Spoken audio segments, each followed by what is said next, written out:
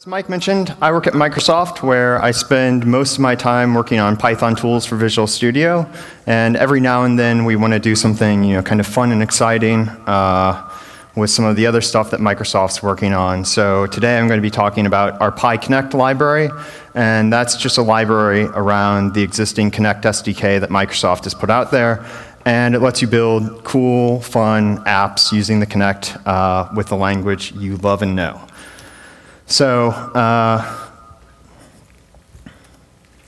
you know, the cool thing about the Kinect is that you are the controller, as our ads say.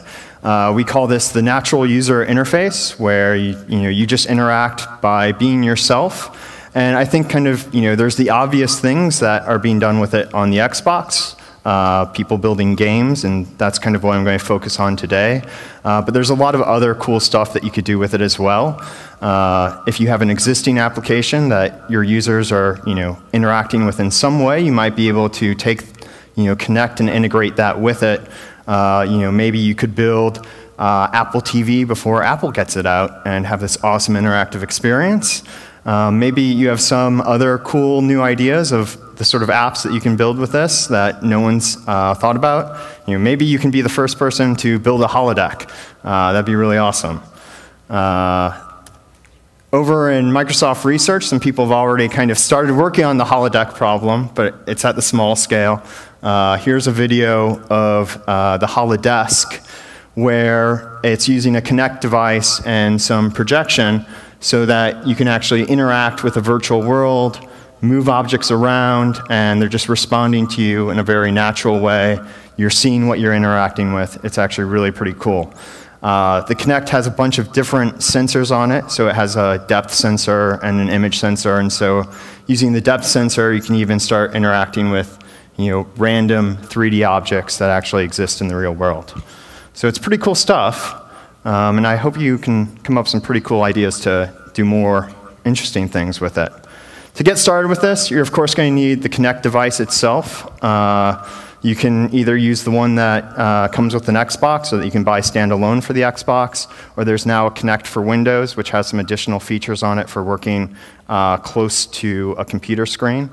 Uh, you'll need to download and install the, the Kinect SDK, uh, which is available at this link, or you can just search for it and you'll need to install PyKinect. And this is the wrapper library. We have it available uh, via PyPI. You can just easy install it and get going. Uh, we also have it on our uh, Python Tools for Visual Studio website where we have some templates and things like that that make it easier to get going writing a game with Pygame.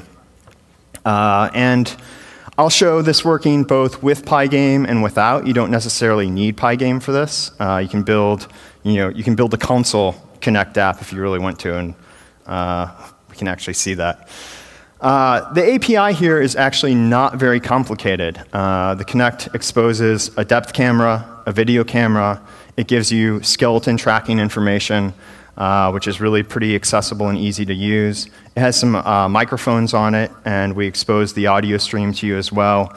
And we have a thin wrapper around the Windows uh, speech recognition API, so you can quickly get going and add speech recognition to your app and integrate that with the Kinect as well.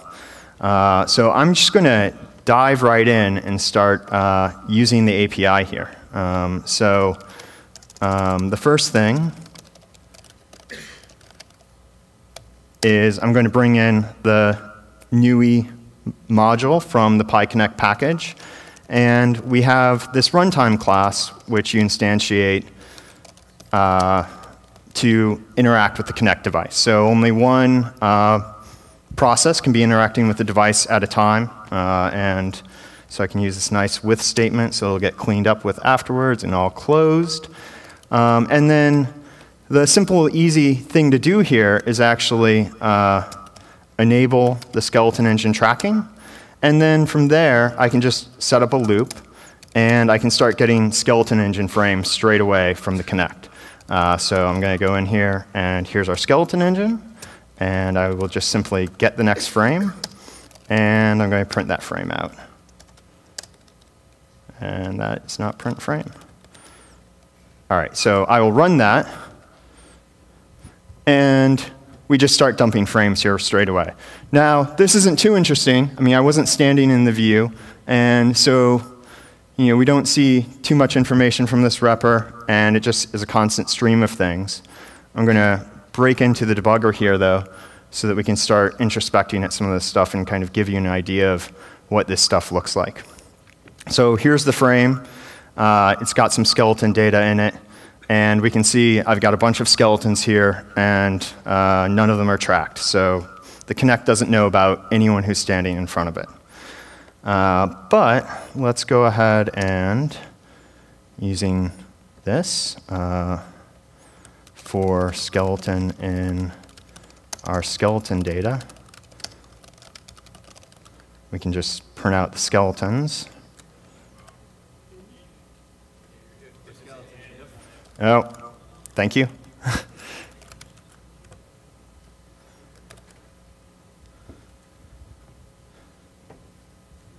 Clear my breakpoint.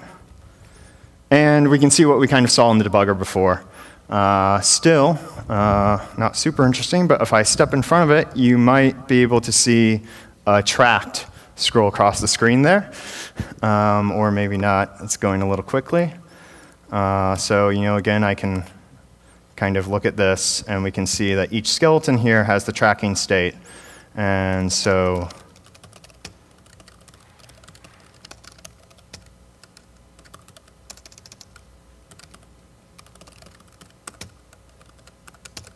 let's only print out our actual skeletons that are being tracked here. And let's get rid of that frame.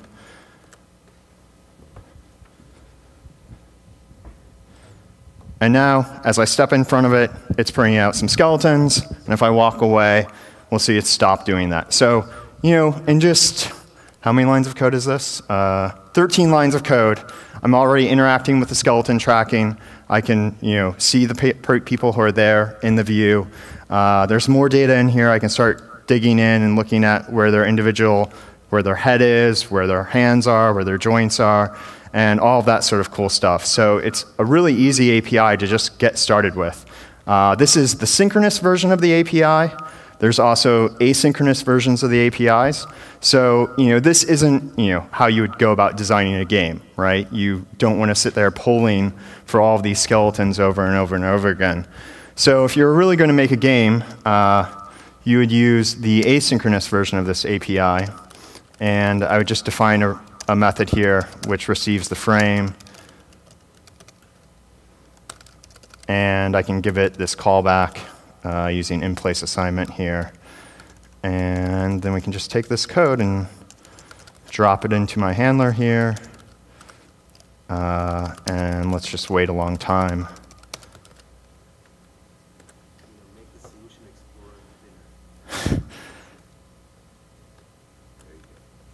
You can see that code. And this is basically the same thing, right? Uh, if I step in front of it. Yes, breakpoint. Ah, the fun of live demos. And we've got the same thing. So if I were to take this and put it into Pygame, what I'd typically do is I'd have these events, I'd receive these events, and I'd actually just push those into Pygame's main event loop. And then I can just process everything in Pygame all at once uh, and update my state, and life is pretty nice that way. So uh, that is kind of the skeleton tracking. Um, I have a larger demo of this actually using Pygame. Oh.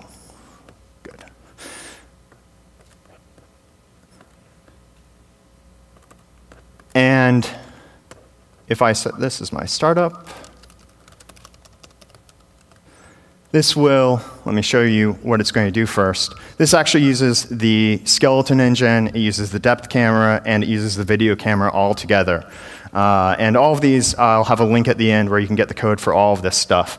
Uh, but if you step in front of it, you can see this is the depth camera right now. So as I move closer to it, um, my color kind of changes.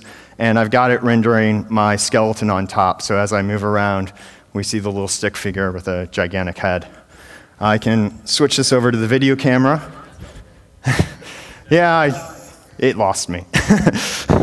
Uh, I can switch this over to the video camera, and we can see uh, me live. And you can do a lot of cool stuff with the video camera because you know where the skeleton is. So if you want, you can get someone's image as they're moving around and project it wherever you want into their game, and you just have their live person there uh, that they can interact with. So uh, that's pretty cool. Um, and uh, we also, you know, there's this API here where I can actually move the camera uh, up and down.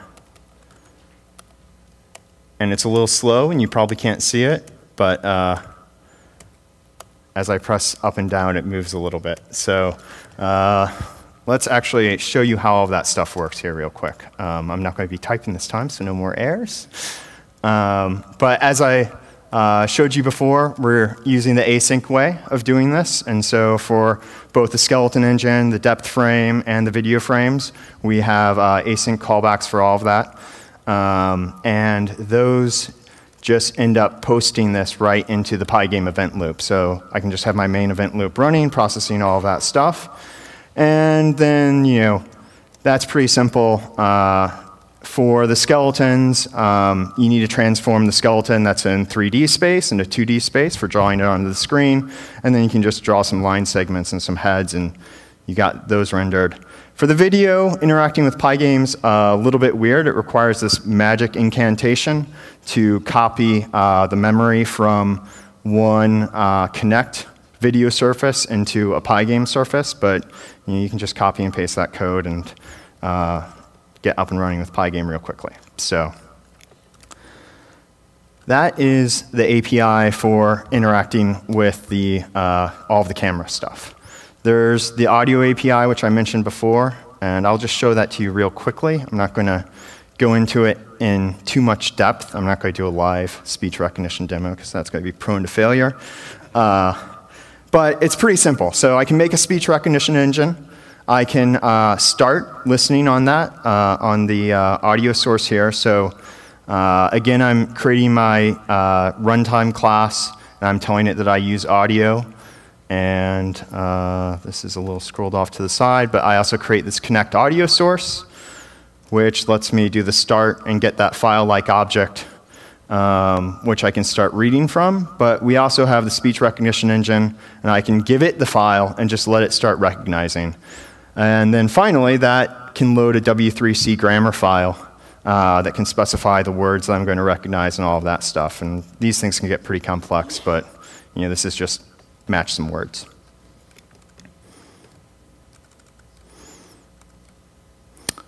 Okay. So this is a summary of the APIs. So we see we have the uh, synchronous versions with the skeleton and the depth stream, the video stream that I can call on and just get current images, uh, current skeletons, and so on. We have the async versions where I can give it a callback and I can take those and pump those into uh, whatever event loop that I'm doing uh, for more classical GUI programming. And we have the camera object uh, which I didn't show you the code for. So let's take a quick look at that. Um, and that's just real simple. It's Kinect. There's a camera object on it. It has an elevation angle property. You can get it. You can set it. Uh, the camera also has a maximum elevation and minimum elevation, so you can check and make sure that what you're doing isn't going to blow up uh, and give you an exception back because the camera won't move. Uh, that goes backwards. Uh, so this is the audio. I mentioned the start returns the file-like object. Um, and uh, you can read from that as you would normally. The audio stream itself is a 16 kilohertz 16-bit uh, PCM audio stream. So that is kind of a little bit limited from what you can do with a full Kinect SDK. There's actually a microphone array on here that can uh, do sensing, but we haven't uh, fully exposed that because we are more focused on the speech recognition side of things. That seemed like a more interesting area to look at. Uh, there's also a bunch of other properties that you can control on the audio stream, uh, get rid of echoes and things like that.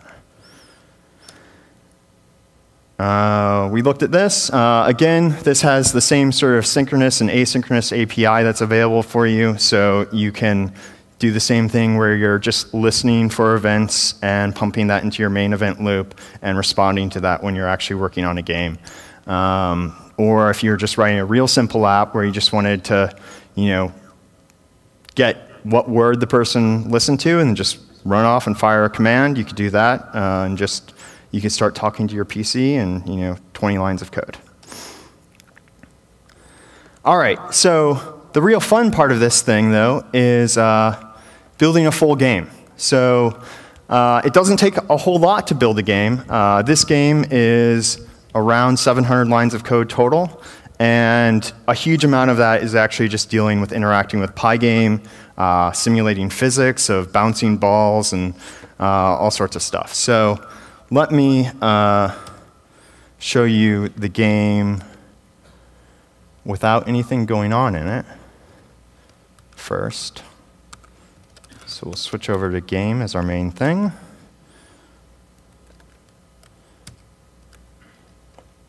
And we'll stop the existing thing that's running. So here's my Pygame window. Uh, and I have this kind of cross between Breakout and Pong. Uh, it's really strange. Uh, so I have all these balls that are bouncing around, and there's these bricks, which, you know, in the classics or breakout game. Uh, the balls would be uh, knocking the bricks away. Uh, and in a classic breakout game, you'd have bumpers. The Kinect faces the right way. Um, and you can see, so I can use my left hand, my right hand to control the two bumpers that are on the side. And I'm using the video camera that's in the middle here, uh, where my face is it's a little cut off right now, but uh, um, you can see it's identifying me as the main player. And so the way the game works is uh, as the ball hits a white block, it changes to your color. Uh, if you hit it again, uh, you get points. And if you hit your player, your opponent's face, so it's a two-player game uh, that has a bug apparently. Um, uh, all the testing, I never saw it, so let's hope we don't hit it again. Um, So it's a two-player game, so there's both red and blue, and uh, they play against each other, and you can hit your opponent's face and change the color on it, and you get a whole bunch of points for doing that. And uh, yeah, so it's real simple. Um, the game itself uh, is using the same basic techniques that I talked about before.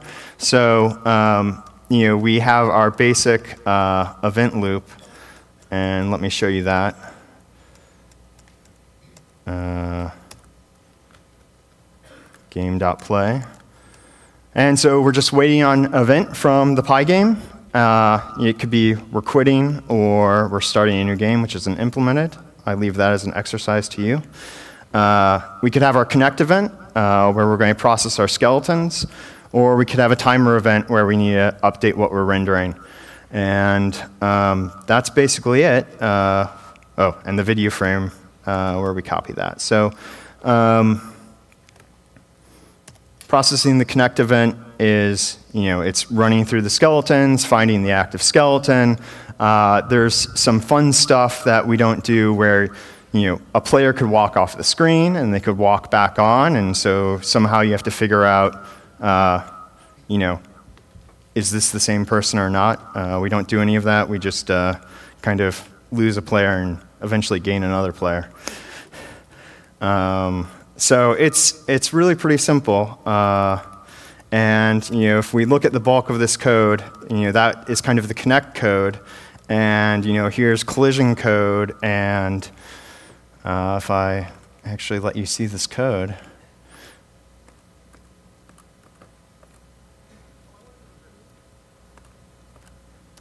Uh, you can see that most of this stuff is you know, just all Pygame, uh, basic stuff, drawing blocks, uh, creating balls, setting up the surfaces, uh, fun geometry. I love writing games because it gives me a reason to use uh, geometry. Don't get too many opportunities to do that. And uh, you know, it's just all game logic basically, and interfacing with the Kinect is actually very, very simple. So, um, at this point in time, is there anyone who wants to play the game? there's a prize. Uh, if you win the game, you'll get a free Kinect.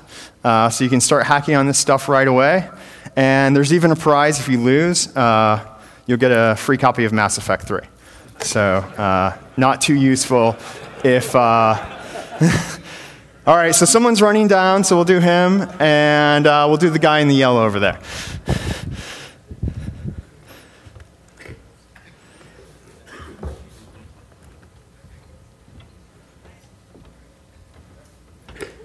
Okay, I'm going to start the game. Um, so, good luck, and you are Tyler? Yeah. Good luck, Tyler. Eric? Good luck, Eric. Okay. Uh, oh, well, okay, let's, let's restart this. hopefully, I saw a scoring problem earlier today, but hopefully we won't have a scoring problem. Okay, so start moving your hands up and down. Uh, hopefully it will Okay, we've got one of you. Okay, we've got both of you. Okay.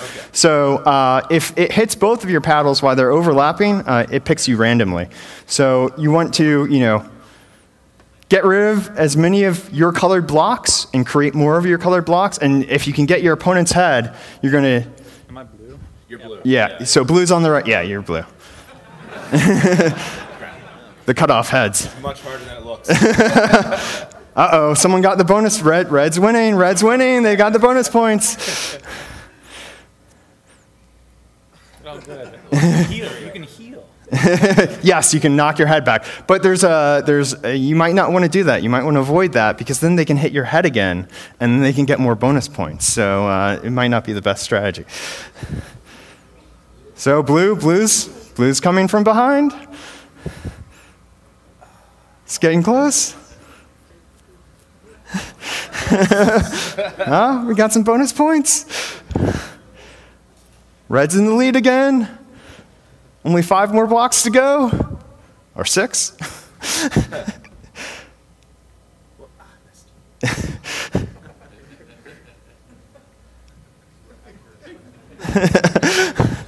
Ah, there we go. Oh, two more, two more, two more.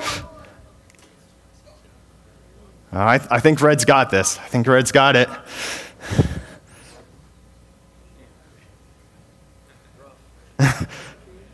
Bam! Oh, Red wins!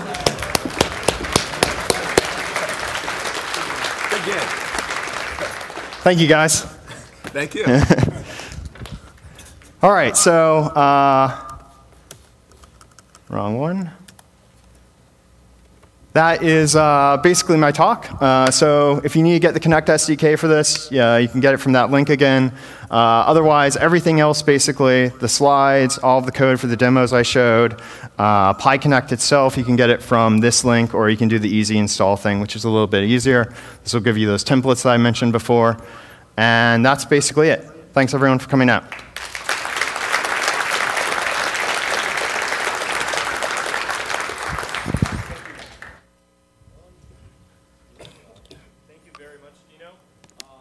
Anyone has questions, we've got about uh, five or six minutes for that. So please use the microphone right over here to my left.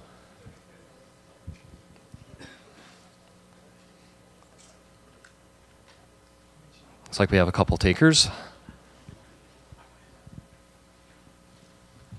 Hey, thanks. That that was pretty cool. Um, I'm wondering uh, about us um, old Linux users. Yep. what what do you recommend for alternatives to stuff like that? Um, so you know, obviously, there's a lot of people have been doing hacking on the Kinect to make it available for other operating systems. Um, you know, I would explore those opportunities. I don't know. I know the skeleton tracking stuff is in the software. Uh, the depth camera, the image camera, the audio, those are probably really easy to expose. I don't know what the state of skeleton tracking is elsewhere, um, and I don't know if you know, we have any plans to change that. So. Thanks. Huh? Hi, uh, excellent demo. It was cool. Um, I'm wondering, uh, could you comment a little bit on having to copy the frame into uh, Pygame, and do you consider that to be, um, I don't know, an integration failure, or like what, what, how would you solve that uh, design problem? Um, I mean, you know, the memory has to be copied, so that's not a problem. There's just, uh, I, I, think the biggest problem is there, the address of the Pygame frame uh, isn't getting exposed in a very natural way. Like, uh, you know, and it's kind of hard to expose that in Python. Uh, so it's not too surprising that it's a little bit wonky. Um, it's not too particularly bad, I don't think, but it'd be nice if they exposed the address in some way that we could hand it off to some code a little bit easier. Um, so would the is the skeleton tracking just limited to the major limbs? Like, would there be some way to expand it to fingers? So like you could do a guitar game where you're like actually looking at, you know, the the individual finger placement. Uh, I don't know what their plans are. So the way it works is they've actually, you know, they've taken a ton of skeletons and modeled them, and like they have this decision tree that they go through to track. I would think that the same technology would work for fingers. Uh, I would think it would depend a lot on, um, you know, getting the right data set and then doing all of that processing and potentially getting the right resolution on the camera. The newer Kinect devices work better closer, and so they might have better resolution cameras now. Um, I, I think that would be really cool. Uh, on the other hand, there's Rocksmith, which is a really awesome game that lets you play with your own guitar. So so theoretically, I could bug someone enough and it might happen. yeah, I mean, I, I don't even, so I don't know that an individual bugging someone about it is going to do too much, but I can only imagine that the Kinect team wants to recognize more and more and more, right? I mean, because the more immersive the world is, the more you're the controller. And I don't quite know what their plans are, but uh, hopefully they're thinking about that direction. Can you talk a little bit about the limitations on bandwidth and access to sensors that exist today? Uh, I don't know anything about that, sorry. Have you ever played with OpenKinect? No, I haven't. Okay, so openkinect.org. Um, yeah, There's the answer for the Linux users. yeah, Linux, Mac, Windows. Yeah. Um, there's a Python wrapper. Does it do skeleton tracking? There's a there's a framework called OpenNI that I don't actually know that much about, but I've only played with OpenNI plus OpenKinect. Um, yeah. Okay, so yeah, there are frameworks for skeleton tracking. That, awesome. Uh, I should probably look at their API and Yes. uh, maybe there can be some unification there. Okay. Anyone else? Anyone else? He wants to know what IDE I was using. I was using Python tools for Visual Studio, uh, which is you know my day job and what I spend most of my time on. Uh, and so that's where all of the coding was happening, and hopefully all of the cool, impressive IntelliSense. and it's free. and open source, and if you want to make it better, you can. okay, there's the plug. I made my PM happy. All right, if there are no other questions, uh, I give you back a couple of minutes. Please, everyone, uh, big round of applause and thanks for Dino.